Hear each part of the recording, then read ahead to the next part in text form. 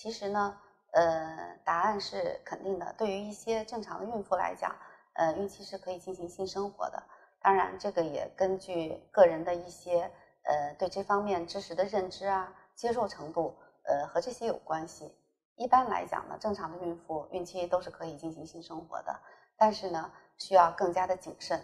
因为孕孕妇的身体和孕前相比较呢比较笨重，活动呢也不是很方便，因此在新生的过程中需要注意使孕妇肌肉放松，并且呢避免腹部和腰部受到压迫，呃，并且要选择合适的方式啊，还有这个程度来进行性生活，不适合过于剧烈，当然。性生活也可能会引发孕妇机体产生缩宫素，可能会诱发宫缩。因此，在这个性生活的过程中，如果孕妇有不适，有出现宫缩，或者是突然出现有阴道的流血和阴道流液，都应该随时停止，赶紧卧床休息。必要的时候呢，到医院就诊。